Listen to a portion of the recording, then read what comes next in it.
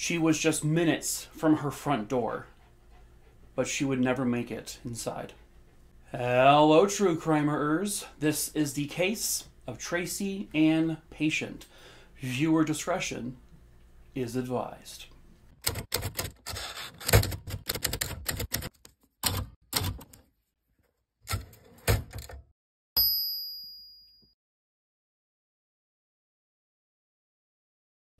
Tracy was born on February 20th, 1962, in England. A few years or so before this case, her family would move from England to the Auckland, New Zealand area. Tracy was described as a really fun girl. She was funny, energetic, and she just loved to make people laugh. She had two sisters. Uh, her older sister was about two years older than her. Her name was Debbie. Um, and then she had a younger sister, a couple years younger. Her name was Denise. Tracy got along wonderfully with both of them, but her sister Debbie was basically her best friend. They got along the best. But the three sisters, they loved hanging out with each other. They had a little group of friends that they really enjoyed spending time with. They would always have their friends over for sleepovers, or they would go to their friends for sleepovers. They would frequent like the ice cream bar down the road all the time. They would go to the movies. They would catch the bus and to go to the city and walk around and just hang out. This is also taking place in the 70s, and you have to remember that in the 60s and the 70s and even the 80s, kids would go out on their own, um, you know, and it wasn't as like problematic as it is, say, today, where parents are more cautious about having their kids go walking to places like, you know, the city on their own. On January 29th, 1976, Tracy's sister Debbie uh, was like basically begging her mom if she could go to this concert that was going on. And it was a concert from the Doobie Brothers, a very popular international band um, from back then. The concert was at a place called Western Springs, um, and the mom eventually said, Yes, that's fine. Um, but then Tracy got a little jealous. She's like, Well, if she gets to do something fun, can I at least go over to my friend's house tonight? and hang out. And the mom said, Yes, you can do that. It's fine. You all should have fun. And her mother saying yes just put a huge smile on Tracy's face. Um, and unfortunately, it would be the last time that Tracy's mom would ever see that smile. Just a little bit later that evening, uh, Tracy and Debbie would leave the house. They would say goodbye to their mother. Um, and they would begin walking up the street. And they were both going the same direction, but at one point they were going to split apart because where Debbie needed to go to meet her friends for the concert was different from where uh, Tracy was going to her friend's house, which was literally just a few blocks from where they lived. And this was a walk that Tracy made all the time. You know, she was very familiar with it. She always got to where she needed to go. Nothing unusual for her when it was time for them to split up, uh, Tracy kind of fell behind uh, Debbie, and Tracy said, "Okay, bye." And uh, Debbie said that she just sort of waved and said, "Okay, bye, see you later." Um, she never like turned around to say goodbye to her sister, and obviously, you know, hindsight is is, is twenty twenty, but she she says now that she regrets not turning around to look at her sister to say bye. Um, because she would never see her sister alive again. Um, you know, like I said, it's she didn't know what was going to happen, um, but still, she has that like that that regret kind of built up inside. Several hours later, uh, around 9:30 p.m., uh, Tracy would give a call to her house um, from her friend's house that says that um, me and my friend are leaving uh, the house right now, and she's going to walk me about halfway and I'll be home in, in just a little bit. And this was a walk that probably should have taken maybe 20 ish, 25 minutes or so, if that. But unfortunately, when Tracy said she would be home shortly, shortly would never come. Like I was saying a little bit earlier, again, this is super common back then for kids to walk home by themselves, even at night. Um, in, in fact, it's stories like this which is the reason why nowadays parents are more hesitant to let their kids do these sorts of things. It's stories like this one why parents have a much tighter leash on their kids, and understandably so, of course. But back then, they didn't really know. This wasn't a common issue. But anyway, I digress. Sorry. By 10 p.m., Tracy does not arrive home. And her parents are understandably very concerned. This is something that has never happened. Tracy's never been late when she said she was going to be home in just 20, 25 minutes. So at this, around the same time, uh, Debbie had gotten home from her concert, and she had said, "Well, I haven't seen or heard from Tracy since we split apart when we were walking, you know, earlier this evening." Um, so some red flags shot up. So, so Debbie and her dad they got into the family's vehicle and they began to drive around the neighborhood. They drove around where Tracy's friend lived. They walked and they, you know, knocked on her door, said, "Yeah, Tracy." They left, and then her friend was already back home. Um, they drove around the neighborhood. They drove around the city. They looked everywhere for her, while the mom stayed at home with the other sister so that she could make phone calls around to people, you know, Tracy's friends, acquaintances, other family members um, and also, if Tracy were to come home, she wanted to make sure someone was there. About an hour after this, sometime around 11 o'clock, uh, the father and Debbie get home. No luck. The mom gets no luck with the phone calls. Tracy still hasn't shown up, so they go to police.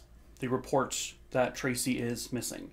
Running away is something Tracy had never done before. Um, not to mention that if she were to have somehow run away, she brought absolutely nothing with her.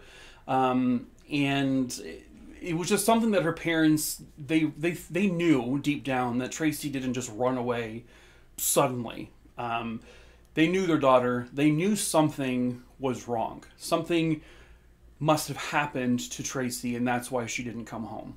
The next morning, um, the dad woke up kind of early. He kind of went out to you know, work with police and look and look around for Tracy some more. And the rest of the family stayed home just in case. Of course, if Tracy comes back, the dad walks into the house um, like an hour or so later. He looks incredibly distressed. He is crying. He something something is wrong. Younger sister said, "Did you find Tracy? Is she coming home?" And the dad just responded with, Tracy is dead.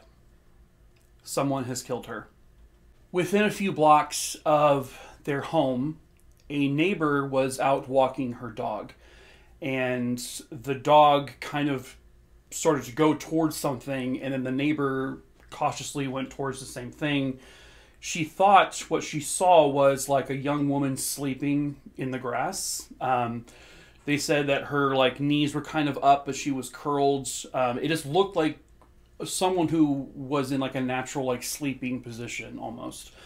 Maybe someone got super drunk or uh, did drugs the night before and they just sort of passed out there on the grass. But as this person walked closer and closer, they realized that this person was not sleeping. This was a young woman who was deceased. She knew that because there were a pair of pantyhose tied very tightly around this young girl's neck, and there was a stick on it so that they could basically, whoever did this would twist that stick in order to tighten the um, pantyhose to strangle this individual. It wouldn't take much longer for the police to identify the body as Tracy Ann Patient. She was just 13 years old police would quickly surmise that Tracy was dumped in this location. Um, they saw like marks in the ground that looked like she had been like like rolled over there or just sort of like dragged down there. So the conclusion they came to was that Tracy must have been picked up by someone, and likely in a car is where Tracy was killed, and then she was dumped.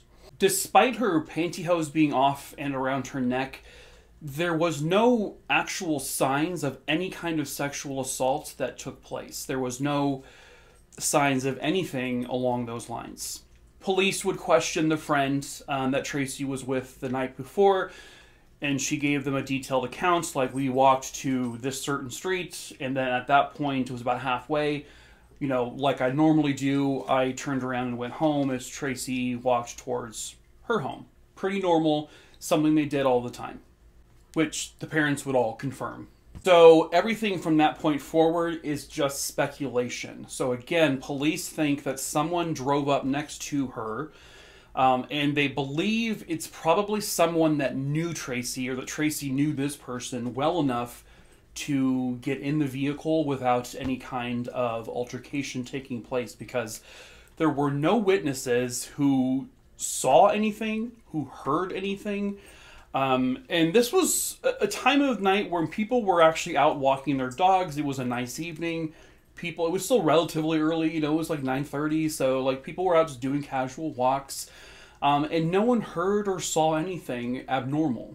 They believe that once in this car, the perpetrator tried to make some sort of inappropriate advances towards Tracy, and Tracy then reacted, and the perpetrator then reacted on their own and killed Tracy so that she wouldn't, you know, tell anyone the parents would tell police that there was something missing from Tracy. It was her little signet ring that she always had on her. It was like this little silver signet ring. Um, but police, even still, even though that was missing, police did not think this was like a robbery because this is still a very young girl. She's only 13 who robs a 13 year old, expecting them to have anything of significant value on their person. Within a day or so, police got tips. They got a lot of phone calls um, with regards to saying that they think they saw Tracy get into a light brown colored van that was being driven by a man in a brown suit. This was observed by at least a couple of people. Um, also, witnesses came forward to say it was like an elderly couple had come forward that they were out walking their dog um, and they had actually seen Tracy shortly after 9:30 p.m. walking on her own with no one else around her. Uh, so, and then the witnesses who say they saw Tracy get into this van say they saw it sometime before 10 p.m. So, this all happened within like a 25 minute window. So, sometime between 9:35 and 10 p.m.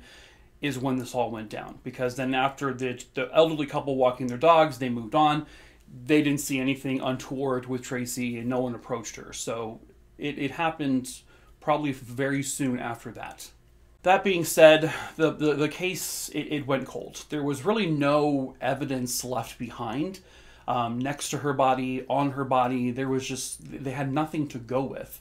They were really hoping for more witness um, statements to come forward. About three months later, a man would come to police and he brought them a road map.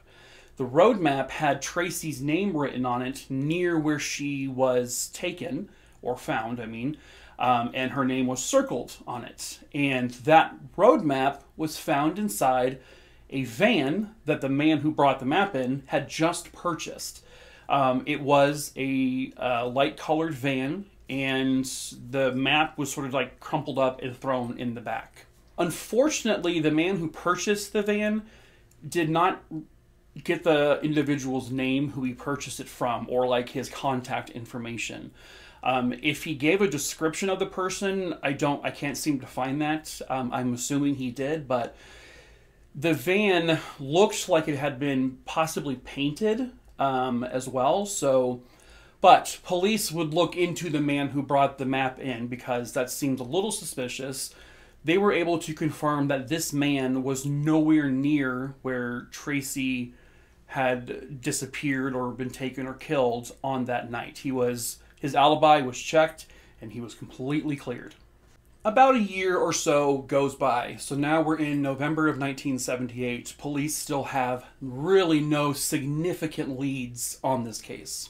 And then they got a phone call in 1978. It was a man and he said this Listen, I am not going to give you my name or anything like that. I am not going to give you any information about myself. But I will give you information on the Patient murder. But listen up, because I'm only going to say it once. only once. The man then proceeded to tell the officer over the phone that you need to go look at a rubbish bin outside the Avondale shopping center. And in that rubbish bin, you're going to find something of significance related to the Patient case. The man also said, Now you take this number down 126040. Believe me, that has significance to this case. I will call you back on the 30th. The man never called back on the 30th. Police did go to the Avondale shopping center and they looked at the rubbish bins, trash bins, um, in outside of the entrance, and lo and behold, they found something of significance. They found Tracy Ann Patient's silver signet ring which was taken off of her the night she was murdered. It didn't find any evidence on the ring, however. The only thing they had was just the ring itself. Now, I am to assume that police tried to track down this caller, and at this point, they kind of have to believe this may be the killer or someone who knows who the killer is because the killer is the one who likely took the ring off of her body and then put it in this trash bin. So it, someone related to this was the caller. Police uh, searched and looked and read, and they couldn't find any significance to you know um, the number 126040 the only thing they really came up with that is if you add up all of those numbers they equal 13 which is tracy's age. But like why? Is is the killer just toying with police? You know they didn't know if this was some sort of cipher a code. Uh, they had no idea. I mean there's been speculation online that if you take the numbers and to the alphabet and blah blah blah and here's connections to uh, hitler and connections to other things and it's it's people ran rampant with it um, more than likely, this number probably means nothing, and they were just trying to egg police on. They tried working under the theory that maybe Tracy was killed by a serial killer because earlier in the 70s, kind of in the same area, there were a couple other murders of young girls, but the MO of Tracy's murder did not match the other two murders, which those two seemed to be connected. So they, they eventually ruled out that it was that person. Could it have been another serial killer? Possibly, but they still to this day don't know. And then it just went ice cold um, for for a very long time, for decades. 2010 rolls along and something kind of comes up. And this is where it gets kind of um, concerning along the lines of the police investigation itself like I have questions. So, in 2010, an anonymous woman calls police and says that her neighbor's son, who was a 21 year old man who had just been released from prison shortly before the Tracy Ann Patient murder, he was the one to have murdered the young girl. She said she had been in the neighbor's house and she saw the silver signet ring just sitting on a counter um, and then she overheard the neighbor, the mother of the 21 year old, essentially confess that her son was the one to kill Tracy. The neighbor, the, the one who was reporting this, said that the 21 year old had a light colored brown van who he had just cleaned shortly after the murder. He repainted it and then he sold it this kind of matches up with witnesses who think they saw Tracy in a van with an unknown man. Same color van. So could it have been the van that the witness from way back when who had the map? Could it have been that van? Unfortunately, we don't know uh, because police apparently didn't take this tip very seriously. They said it wasn't credible. So, to my knowledge, and I cannot say this for a fact, but I, it does not seem that the police investigated this young man, who is probably now much, much older, um, because nothing ever came from it. There was no stories or updates on it. So I don't know if they investigated it and what were the results if they did. But you would think somewhere would be the information. The case goes back cold again. And by 2016, the uh, police station there in Auckland, New Zealand, they start a cold case unit and the Tracy Ann Patient case is one of the very first ones they bring bring back out. They dust it off, and they look at it again. So then they go on the news saying we've reopened the case. If anyone has any information, please come forward. And then they get a phone call pretty quickly. A man by the name of Gary Ross calls police in 2016.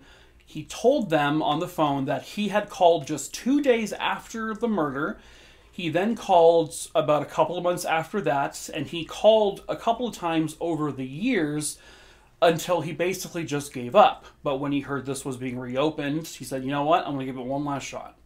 What Gary Ross says is that on the night of January 29th, 1976, sometime after 9:30 p.m., but probably before 10 p.m., he was driving down 295 Great North Road, which is actually the area where Tracy and uh, where Tracy had interacted with the older couple who was walking their dog.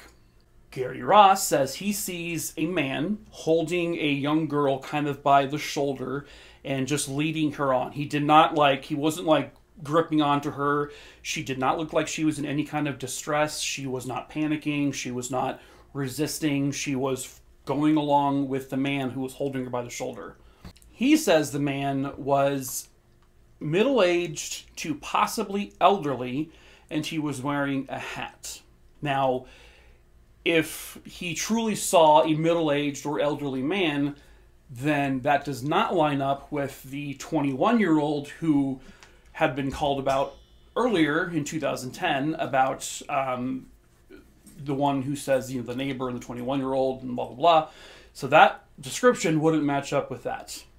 Gary Ross also made no mention of a van or any vehicle of that nature. So surely police looked into this. No. I again, I can't find anywhere where they truly did a deep dive into this and looked into it. It sounds like they didn't take him credible either. We are now over 40 years later. Not one person has been named a suspect. Not one person has ever been put in handcuffs over this case. They claim they say they have about 850 persons of interests that they have interviewed over the decades, but none of them led to anything.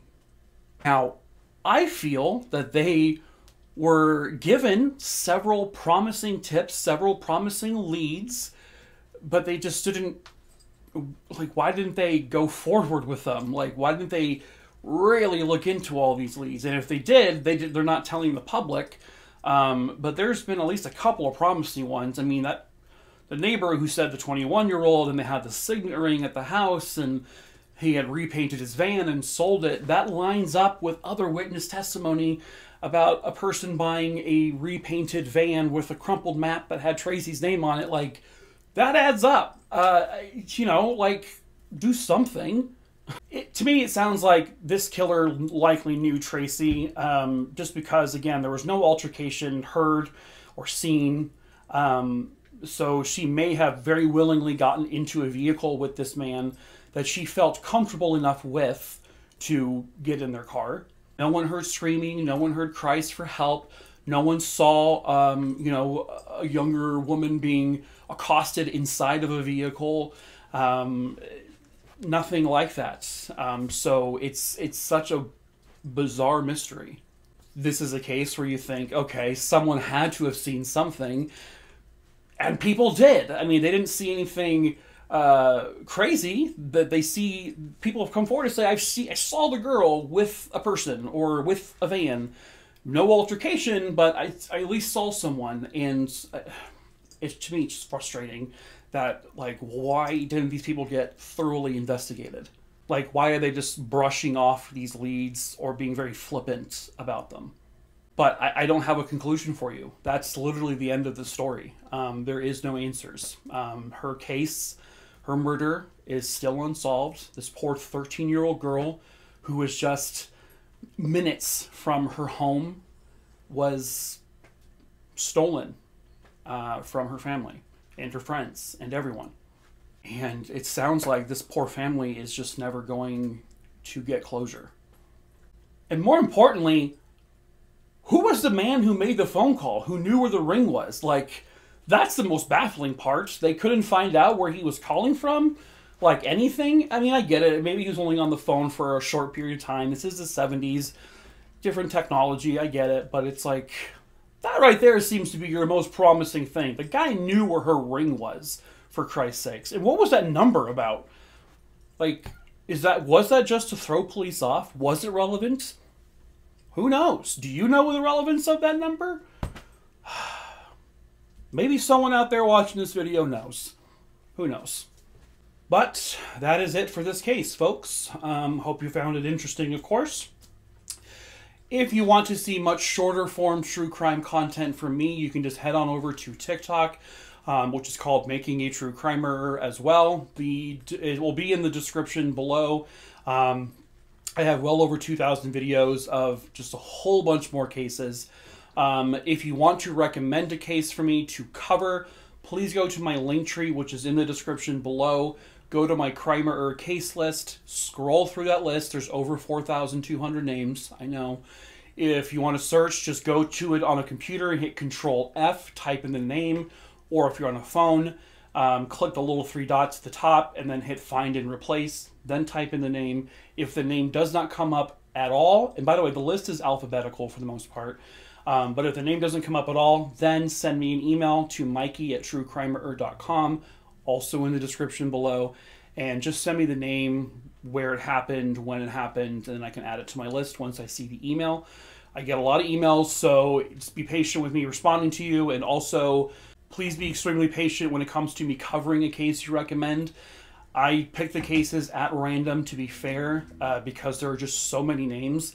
Um, so I, I could cover it on the next video, or I could cover it three months from now or a year from now. So please be patient. Thank you. If you want to be a Crimer or crew member, you can purchase this shirt through my merch store, also in the link tree in the description below. Uh, we sell other shirts um, with other sayings on it. We sell hoodies with the same sayings. Um, we sell, you can do it in rainbow font on some of the outfits or the shirts and sweaters. Um, we also sell wine glasses that you can now customize one of the words on it. We sell mugs and a beanie and little trinkets and stuff. So yeah, if you want to purchase some merch, go for it. It's in the description below. We're currently on Etsy, but I believe Adam, who makes my merch, his info is also below because he's wonderful. Um, he will be switching to a new shop soon, so when that happens, I'll let you guys know. But until the next case, true crimers, I shall see you for the next one. So, ta ta for now. True crime, a roofies. Whoa, nope, that's. I'm being arrested.